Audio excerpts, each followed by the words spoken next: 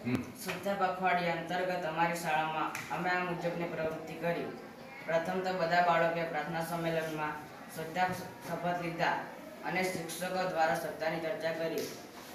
વર્ગમાં વર્ગ શિક્ષકો દ્વારા ભેટનું આયોજન કરવામાં આવ્યું, જેના પ્રશ્નો સ્વચ્છતાને અનુરૂપ હતા.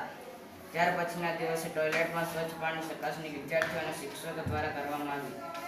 શૌચાલય, મધ્યાહન ભોજન, વર્ગખંડ, બારી બારણા તથા પંખાની સફાઈ હાથ ધરી. પછીના દિવસે કચરા પેટીનો ઉપયોગ તથા ઘન અને પ્રવાહી કચરાના નિકાલથી સમજ મેળવી. પછીના દિવસે ધોરણ સાત અને ધોરણ આઠના બાળકોએ પોતાની મૌલિક શૈલીમાં કવિતાની રચના કરી.